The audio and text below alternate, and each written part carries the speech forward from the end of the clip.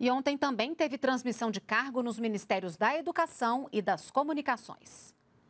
Formado em agronomia, o novo ministro tem 54 anos, é casado e pai de três filhos. Foi ex-governador do Ceará e implantou o ensino fundamental em tempo integral no Estado. Agora, à frente da pasta da educação no governo federal, disse que é preciso estabelecer um pacto pela educação no país. É necessária a recuperação de uma visão sistêmica da educação que vai da creche à pós-graduação e, para isso, precisamos fortalecer o regime de colaboração em um grande pacto federativo pela educação. Iniciarei um diálogo permanente com nossas universidades, institutos federais, organizações não governamentais que trabalham com a educação, estados e municípios, para construirmos juntos o novo Plano Nacional de Educação.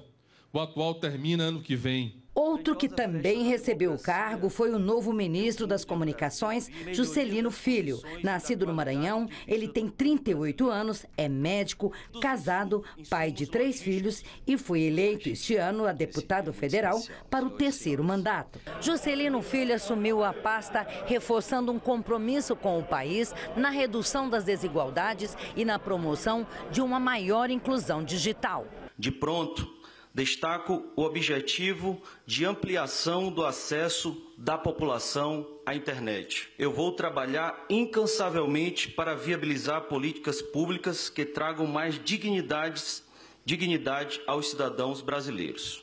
A retirada dos Correios do Plano Nacional de Desestatização.